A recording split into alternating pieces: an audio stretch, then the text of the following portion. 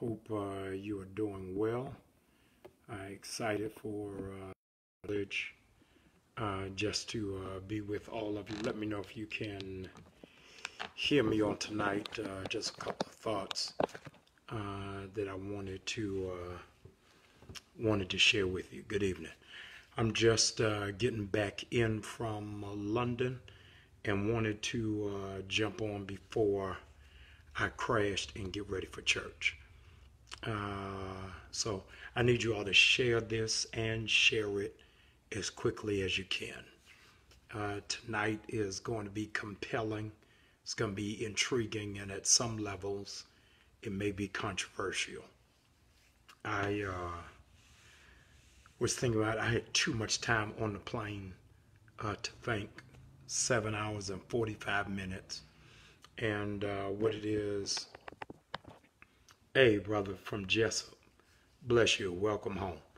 Uh, I was thinking about this for seven hours and 45 minutes, so much so uh, that I'm thinking about writing a book about it. And uh, I wanted to bounce it off you all, my family, first to get you all's thoughts, uh, reactions, and feelings on it. Uh, before I jump in, ask that you will uh, please uh, share this message. Uh, those of you who are on Periscope, press those three buttons. Those of you who are on Facebook, ask that you'll please uh, do the exact same. but I want you to share it. I'm not going to keep you long. I'm tired. I got jet lag. But I got to get this off my chest. I love you too. Uh, here's what I was uh, thinking. I was thinking uh, how the church has consistently and persistently dropped the ball. Dropped the ball and missed a major opportunity. Many of you jumped on because you saw the title of it, and I wanted to give you some backdrop In case you didn't know, uh, Malcolm X, name before his conversion was Malcolm Little. Uh, his father name was Earl Little, and his father was a uh, activist, conscientious Baptist preacher uh, out of Michigan, who was also a Garveyite. Uh, Garveyites are uh, those who uh, ascribe to the power of the diaspora in understanding the strength of uh, black dollars and realizing that we had to, in fact, fortify our home base, which is the mother continent. Malcolm X's father, Earl Little, September 27th, 1931, was struck down by uh, a streetcar and uh, was taken to the hospital that was slow to give him aid and assistance because he was a black man and this is the height of segregation. He died and Malcolm X was eternally scarred because he firsthand witnessed the treatment of somebody that he looked up to went into a life of crime as is chronicled in the autobiography of Malcolm X, co-written by uh, Alex Haley, that took him to a precipitous downward slope. And he found himself doing any number of things from numbers running uh, and everything in between. And here's what dawned on me when Malcolm X's father died as a Baptist pastor in Michigan. What other pastors in that city stepped up and said, Your father's gone, but I'm going to be that male role model for you? I'll be that presence. Got to ask the question, albeit rhetorically when the pastor died, Pastor Earl Little, where were all of the members of the church who just him, pastor, And now that pastor is no more, nobody takes a moment to put their hand on the son. So he goes into prison. When he goes into prison, he's introduced to the teachings of the Honorable Elijah Muhammad, and as a consequence, the Nation of Islam. He comes out, has access and exposure, and immediately has uh, a connection. The Honorable Elijah Muhammad, who takes him in, mentors him, tutors him, and then uh, grooms him to be a voice for our people. I shudder to think because never once in all of these years have I ever heard it raised or argued. What would have happened if the body of Christ had made that same level of investment? Identified and recognized that same level of gifting. Who in the world would Malcolm X or Malcolm Little have been for the body of Christ? Regrettably, so many of us love Paul and we quote him, but we don't know what to do with Saul. So people like you after you've transitioned, but can't handle you while you're in process. It is, isn't it amazing that one of the greatest evangelical pruning grounds for the Nation of Islam is, in fact, the largest church in the world, which is the prison industrial complex. Nobody has really done a critical analysis as to why it is that the Nation of Islam is 80% men and the church is 80% women where are we missing it? How is it that we do a hundred men in black, put old deacons on the on the front row? Whenever young men come in, we immediately place them as armor bearers and security, but never groom them for discipleship and for leadership. How is it that we don't even see the blood dripping from our hands? And how many nameless and faceless Malcolms did we have within our grasp, and we never reached out for them. We like them while they playing the drums. It's great when they're sitting in the balcony. But when they hit from 21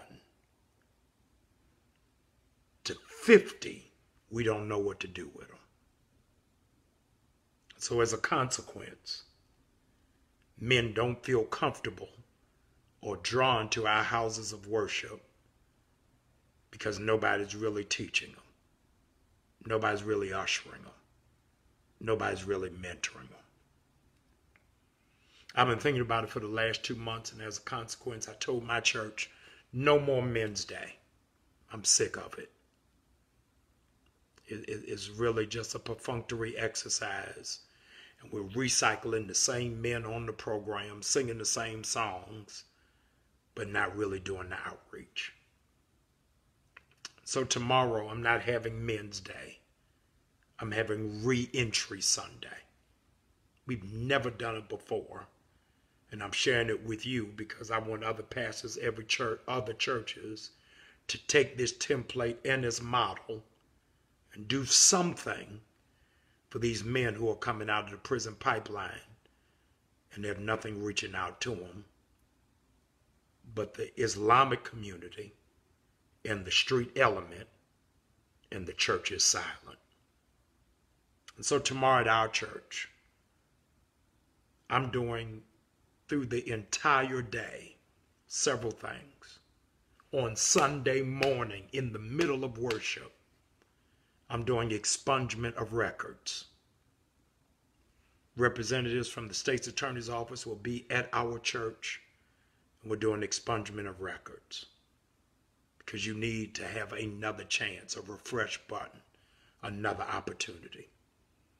I'm having businesses come to our to our congregation tomorrow who are open to hiring returning citizens so that they don't have to lie on the application just to feed their family.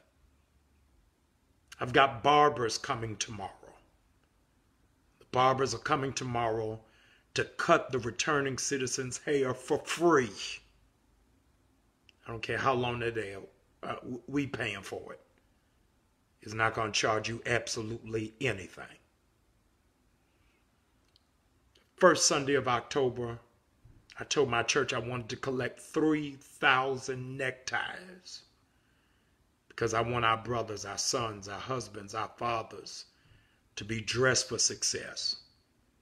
By the grace of God, we just reached that benchmark to collect 3,000 neckties to get them ready for job interviews and job preparedness. I was blown away because I thought I was really doing something by collecting 3,000 neckties. I did a Periscope like this one, did a Facebook Live like this one, sharing what was my vision. And a company from New York watched this video and said, Pastor Bryant, that's great that you're giving neckties, but that's not enough. So right now, I've got two trucks driving up from New York so that every ex offender who walks in my church tomorrow is not just getting a tie, but we're putting them in new suits. Not only are we doing that, I'm telling you, we're doing the full gamut of wholeness. Chesapeake Urological is partnering with us tomorrow. And Chesapeake Urological is doing free prostate exams for our fathers and our brothers and our husbands who are over 40 because regrettably and embarrassingly, too many of our black men don't take care of their health, don't take care of their temple. And so we've got to do something.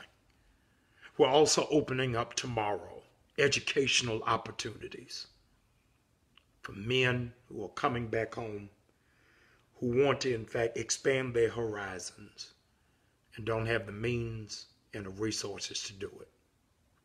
So I jumped on tonight because I got programs from all over the state of Maryland coming to my church tomorrow. And I got resources for 3,000 returning citizens. Not three, not 30, not 300. I want to service 3,000 returning citizens tomorrow. I got enough ties and suits for all of them. And so, what I'm asking you to do is, I need you to get on your phone. I want you to go on social media uh, and direct every uh, returning citizen, every man you can, to Empowerment Temple. I've got three services tomorrow 7.30, 9.30, and 11.30. It's going to be absolutely insane. I'm going to be streaming live tomorrow behind the scenes uh, so that you can see these brothers start a new chapter of their life and start all over again. Because I have no idea that one of the men who are getting a haircut, one of the men who are getting a job, one of the men who are getting their records expunged, one of the men who may be putting on a tie and a suit for the first time, could be this generation's Malcolm X.